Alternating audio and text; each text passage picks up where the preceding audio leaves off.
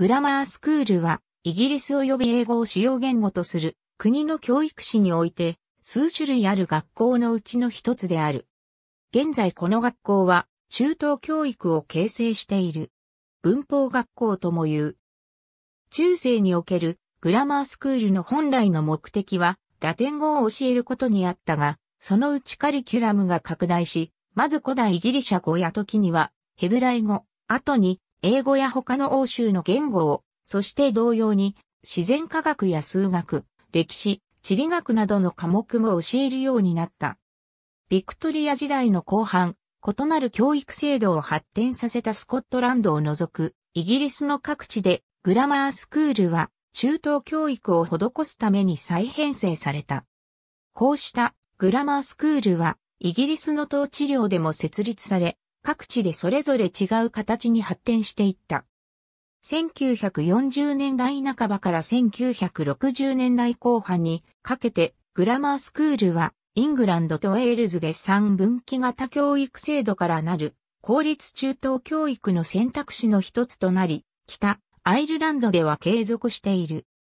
1960年代から1970年代の非選択制のコンプリヘンシブスクールへ移行すると、一部のグラマースクールは完全に独立し優勝化したが、ほとんどの学校は廃止されるか、コンプリヘンシブスクールになった。いずれの場合も多くの学校では公明にグラマースクールが残った。イングランドの一部の地域では三分岐教育制度を維持しており、総合学校化された地域にも少数ではあるが、グラマースクールが残っている。現存するグラマースクールには16世紀以前にその歴史をたどれるものも存在する。中世以来、グラマースクールはラテン語を教える学校であった。スコリーグロマーティッカルズという用語は14世紀までは広く使われていなかったものの、こうした学校の最古のものは、カンタベリーのキングズスクールやロチェスターのキングズスクールなどのように6世紀から見られた。こうした学校は教会の言語であるラテン語を将来神父や僧侶になる者へ教えるため、大聖堂や修道院に付属していた。音楽や典礼用のインディーツ誌、教会歴のための天文学や数学、教会運営のための法律などの科目は必要に応じて加えられた。ウィンチェスターカレッジの礼拝堂12世紀後半における古代の大学の創設以来、ラテン語か山学の基盤とみなされるようになると、グラマースクールはリベラルアーツ教育の入り口となった。生徒は通常14歳になり次第グラマースクールで教育を受け、次に大学や教会を目指したと考えられる。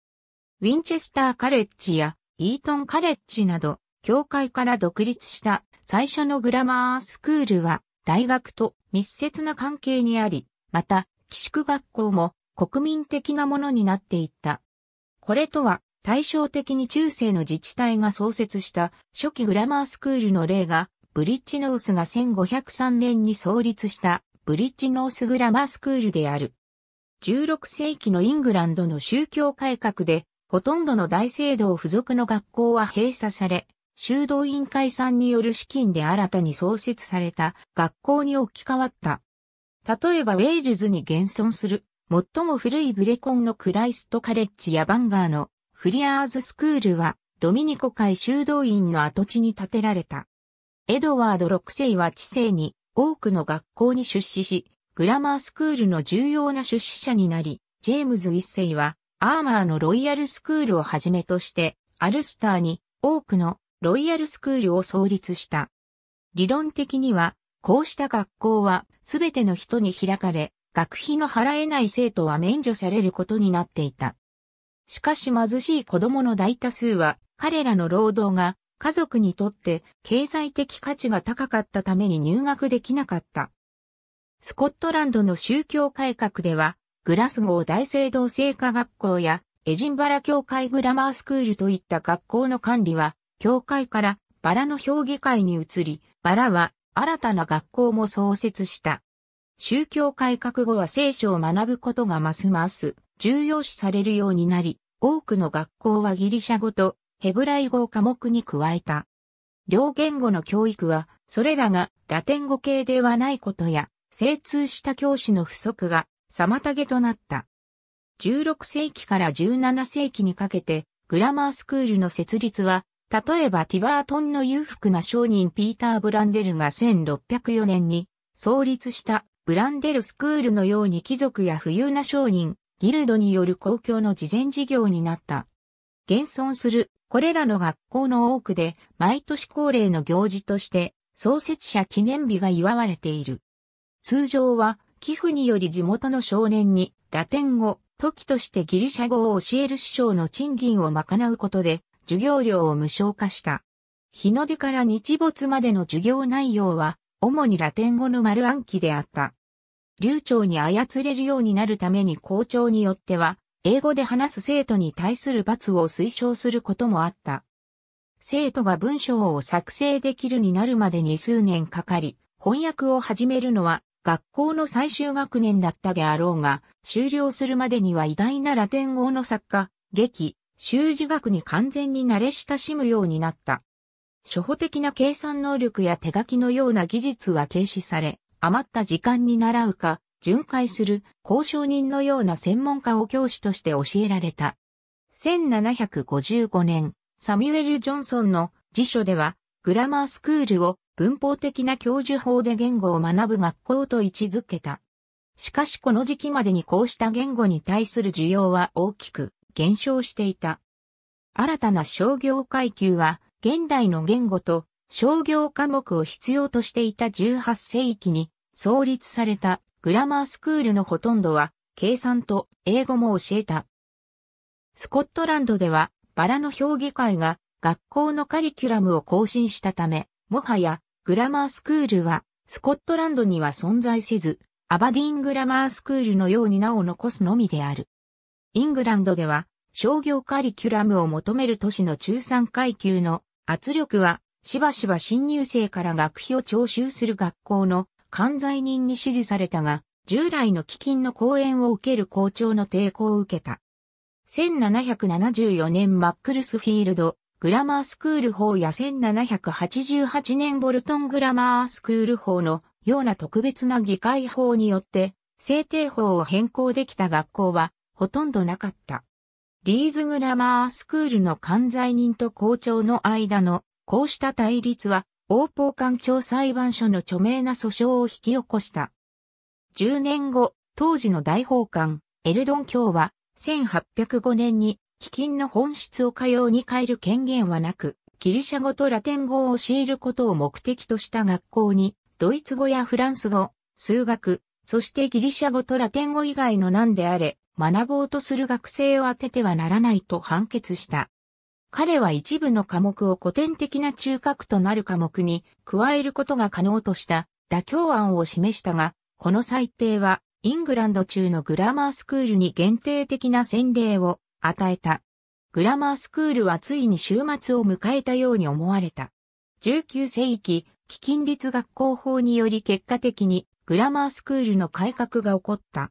グラマースクールは文学的、科学的なカリキュラムに従いながら、同時にしばしば古典的な科目を保った学級的思考の中等学校として再発見された。1840年のグラマースクール法により、グラマースクールの収入を古典的な言語の教育以外に充てることが合法となったが、変更には依然として校長の同意を必要とした。とかくするうちに国内の学校はトーマス・アーノルドが行ったラグビー校の改革に乗っ取って再編成し、鉄道の普及により、マールボロカレッジのように広範なカリキュラムを教える新たな寄宿学校ができた。大学入学を目標とする最初の女子校は、ノースロンドンコレッジットスクールと1858年にドロシー・ビールが校長に任命されたチェルトナム・レディーズ・カレッジだった。1868年パブリックスクール法により、主要なパブリックスクール9校を改革したクラレンドン委員会をモデルに、基金立グラマースクール782校を審査するためのトーントン委員会が設けられた。委員会は学校の分布が現在の人口と一致しておらず、設備にも大いにばらつきがあり、とりわけ女子向けの設備が限られていると報告した。委員会の目的は、現在の目的に合わせてこうした、基金立学校を近代的要請に沿うように改革することで、全国的な中等教育システムを作ることであった。その結果、1869年基金立学校法が制定され、個々の学校の基金に監視広範な権限を持つ、基金立学校委員会を創設した。委員会は、ノーサンバーランドの男子校をコーンウォールの女子校に変更できると言われた。イングランドとウェールズ全域で少年に古典的な授業を無償で提供する、基金立学校は、優勝で少年や少女に広範なカリキュラムを教える学校として作り変えられた。ビクトリア朝時代は、セルフヘルプの重要性が強調され、子供たちにきちんとした教育を受けさせようとする両親らは古典的なコアカリキュラムを残しつつも、現代的なカリキュラムのある新たな学校の創設を組織した。こうした新たな学校は偉大なパブリックスクールのカリキュラムや精神、野心を真似る傾向があり、歴史的な理由からグラマースクールの名を付けることもしばしばあった。古い男子グラマースクールのある町に創立された女子グラマースクールはハイスクールと命名されることもよくあった。1907年教育法により助成金を受けるすべての中等学校は公立小学校出身の生徒のために返還義務のない奨学金の最低25%を提供することを義務付けられた。このようにしてグラマースクールは1944年までイングランドとウェールズの様々な教育制度の一翼を担うことになった。詳細は三分岐型教育制度を参照。1944年教育法は、イングランドとウェールズの公立中等教育を初めて創設し、1947年北アイルランド教育法に反映された。三分岐型の教育制度を形成する三種の学校の一つがグラマースクールと呼ばれ、現存するグラマースクールの学術面の精神を広めることが求められた。グラマースクールは11プラスで選ばれた生徒のうち最も知的能力を有する25%を対象にカリキュラムを教えることを意図した。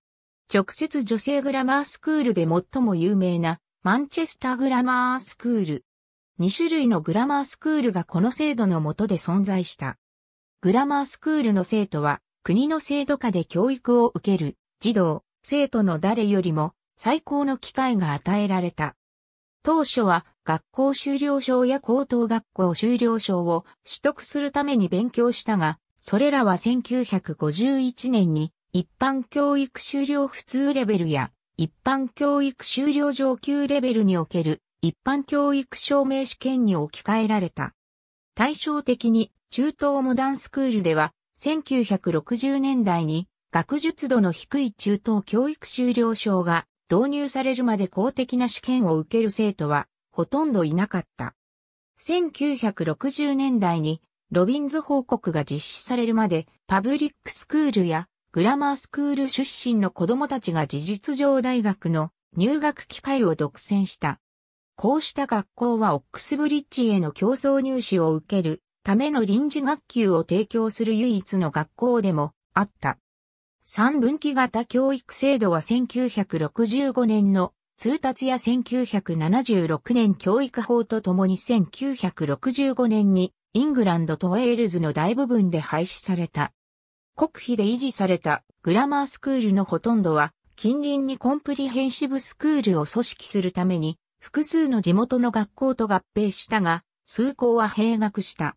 この移行過程は、ウェールズで急速に進み、カウブリッジグラマースクールのような学校は閉鎖された。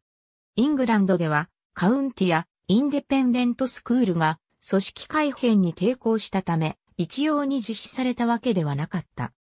1975年の直接女性グラマースクールに関する規定により、こうした学校は地元の当局の管理下で総合学校化するか学費で収入を賄うインデペンデントスクールになるか選択を迫られた。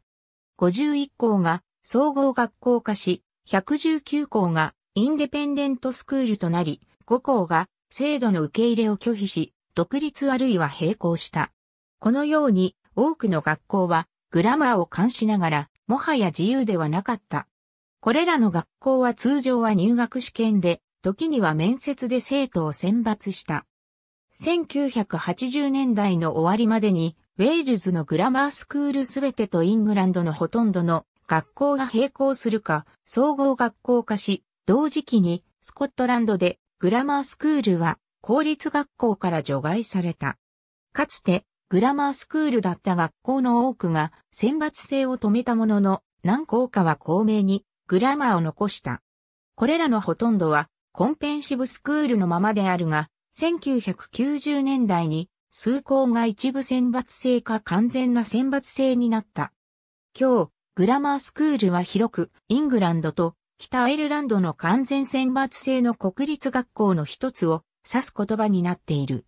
詳細はイングランドのグラマースクール一覧を参照。1995年の労働党大会で当時の教育報道官デビッド・ブランケットは労働党政権下で選抜を行わないと約束した。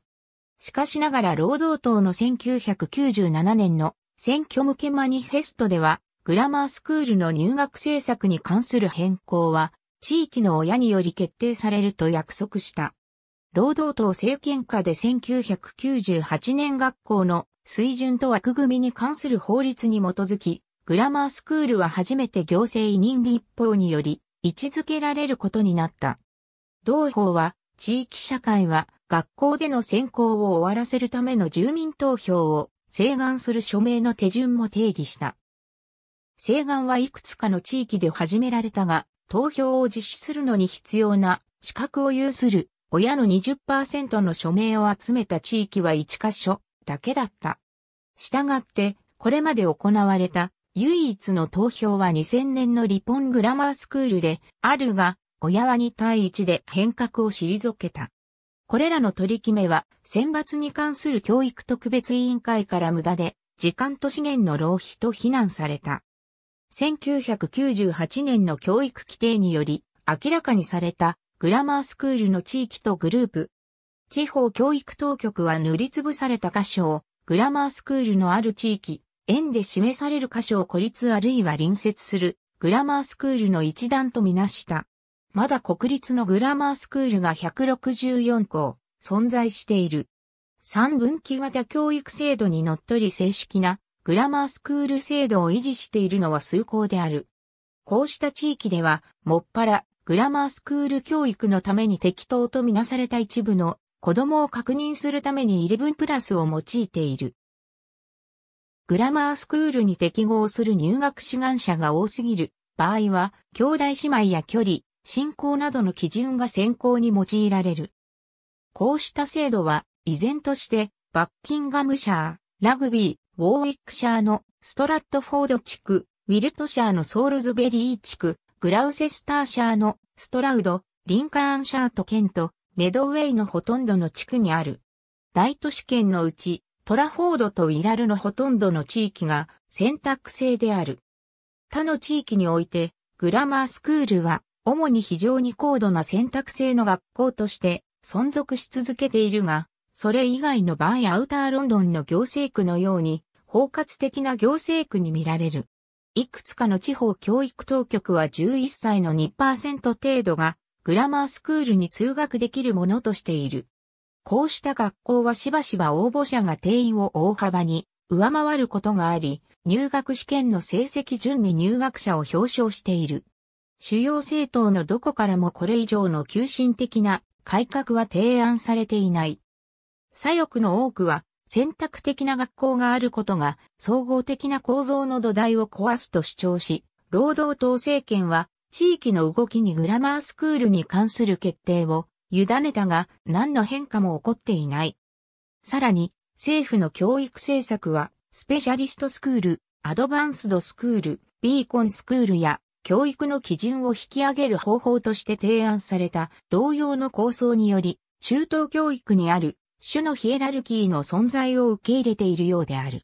多くのグラマースクールがこのプログラムに取り上げられており、より低い段階の選抜がスペシャリストスクールで認められている。保守党員の多くはグラマースクールの拡大に対して支持を表明しているが、2006年以降等の政策としてバッキンガムシャーやケントのように完全な選抜制を行っている地域で人口の増加に対処する場合を除き、新たなグラマースクールを建設しない方針である。影の教育大臣、デビッド・ウィレッツは、中産階級の両親は子供の受験に現在多額の投資をしているため、グラマースクールはもはや貧困の経歴を持つ才能ある子供に学習の機会を提供していないと主張した。詳細は北アイルランドのグラマースクール一覧を参照。デリーの Lumen Christi College イングランドのその他の地域として総合型へ移行する試みは北アイルランドの行政のにより遅れている。その結果、北アイルランドは現在でもグラマースクールを維持しており、ほとんどの生徒が11プラスで入学する。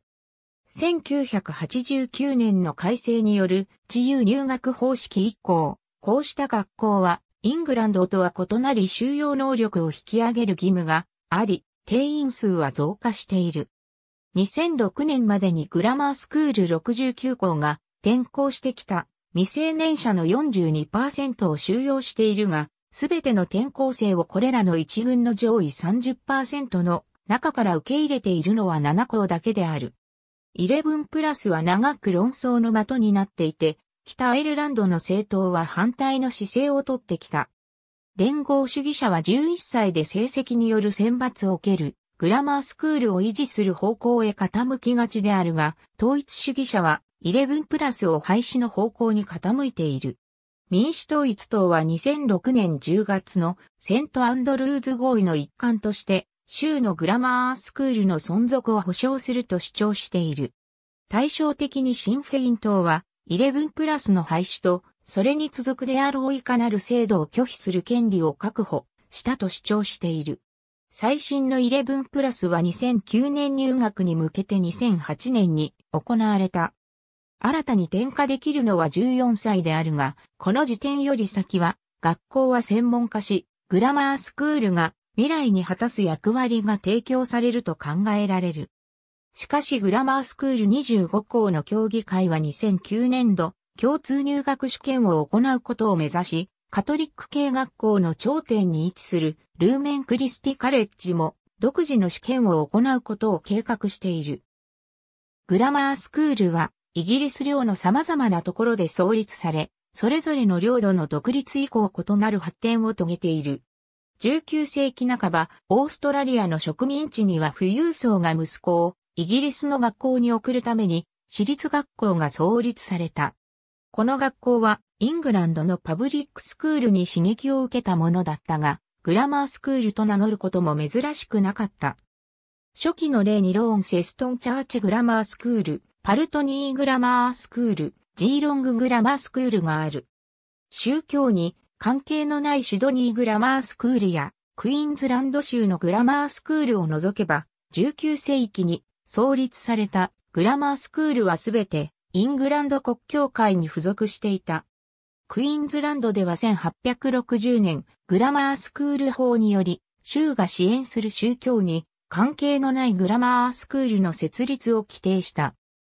10校が設立され、8校が今なお存続している女子のためのオーストラリア最初のグラマースクールはブリスベン女子グラマースクールで間もなく他にも創立された。1920年代、ビクトリア連合グラマースクールの会員を含む他の宗派のグラマースクールが創立され、この傾向は現在も続いている。今日グラマースクールという用語はクイーンズランド法令でのみ定義されている。オーストラリアにおいてグラマースクールは全国的に学費のかかる私立学校であり、現代のイングランドのグラマースクールに相当するのはセレクティブスクールである。